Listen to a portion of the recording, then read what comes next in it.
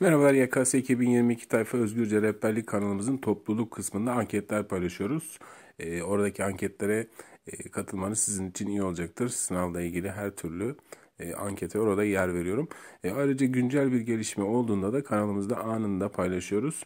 Uygulamalı bir e, yapmamız gereken uygulamaysa onun da videosunu aktarıyorum sizlere.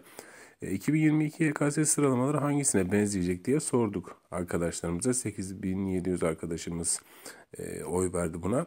E, gördüğünüz üzere 2020 2019-2020 ortalaması %50 e, oranında en yüksek ortalamaya sahip.